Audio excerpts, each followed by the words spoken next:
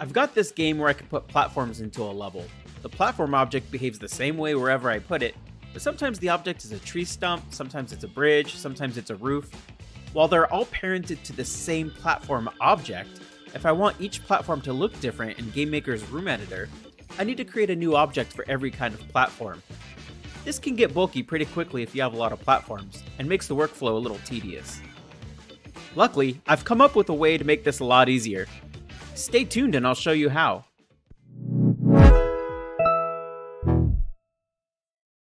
The problem is that I have one object called OBJ platform, but I'm only allowed to see the sprite that's assigned to it when I place it into the room. I want to be able to see the different sprites for each platform so I can design my levels a little easier. I could change the sprite for each one in the creation code, but those changes will only show during gameplay and won't look any different in the room editor. My favorite solution here is to use an asset layer to display the sprite I want to see in the room editor, then use some code to swap out the sprites in the asset layer with the platform object. Then, just before you see anything, each platform uses the sprite that it replaced on the asset layer.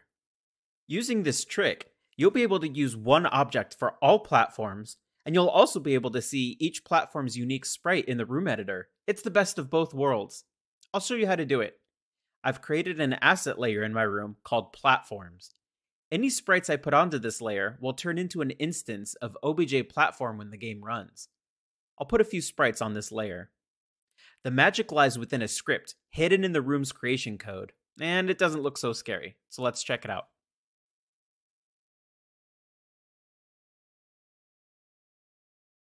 So here's a look at a room's creation code. There's two things in here.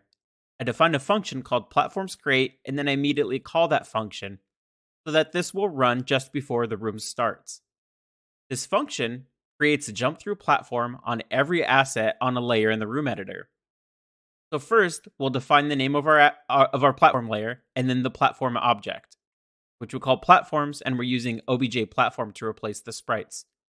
First, let's get the platforms layer then we'll get all the elements on the layer and loop through them.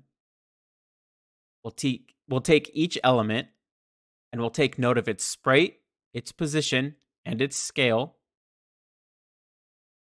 Then we'll create a platform in its place. Last, we'll match the platform's sprite and size to the sprite on the layer. So to summarize, any sprite I put on the platforms layer will automatically be replaced with an instance of OBJ platform, and that instance will change its sprite to the sprite it replaced on the layer. Let's test it out in game. I'm able to use these like I would any other platform, even though they were just sprites in the platforms layer just a second ago. This saves me a lot of time not having to create a new object for every platform that I want to add, and it's a nice way of making the room editor a little more friendly. What's your favorite way of using layers?